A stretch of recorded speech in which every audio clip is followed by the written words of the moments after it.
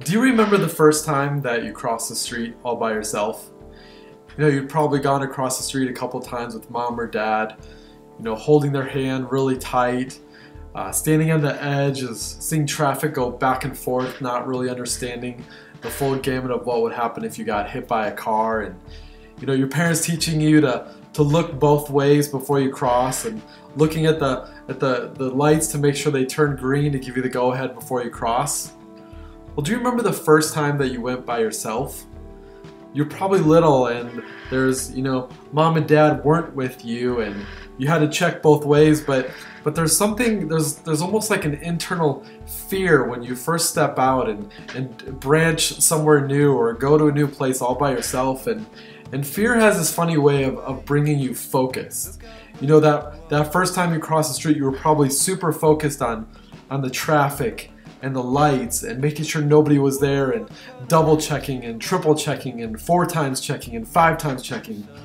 You know, now we just cross the street so casually all the time, like we don't even think about it. But but there's something about when about being fearful of it and it forces you to really stay focused. Well, let me read Psalm 128, which I preached on last Sunday at Hope Boulder. Psalm 128 says, How joyful are those who fear the Lord, and all who follow his ways. You will enjoy the fruit of your labor. How joyful and prosperous you will be. Your wife will be like a fruitful grapevine, flourishing within your home.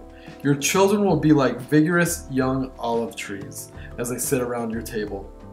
That is the Lord's blessing for those who fear him. So may the Lord continually bless you from Zion.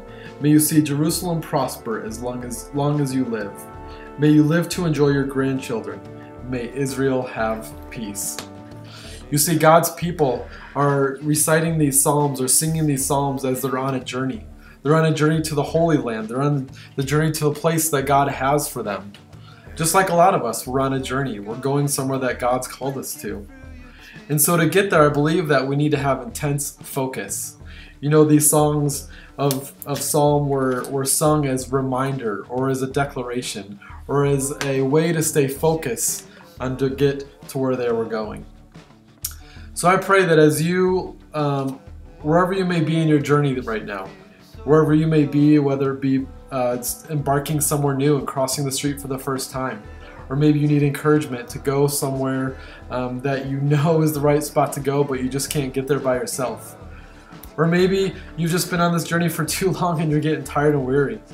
Well, I pray that in this season you would have um, a sense of fear, not a not a, not a, a fear of being afraid of of what's on the other side, but more of a, a holy fear that brings you intense focus and desire to go to where God has called you to be.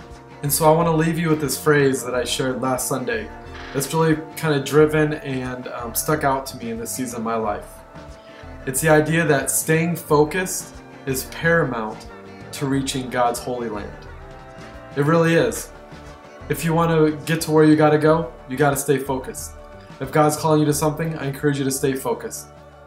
And so join us this next Sunday as I'm actually bringing a friend out from a, a, retreat that I recently met. His name's Tyler. He'll be helping us out leading worship, and Ted will be bringing the word, and it's just going to be awesome and amazing. So thanks so much and be encouraged.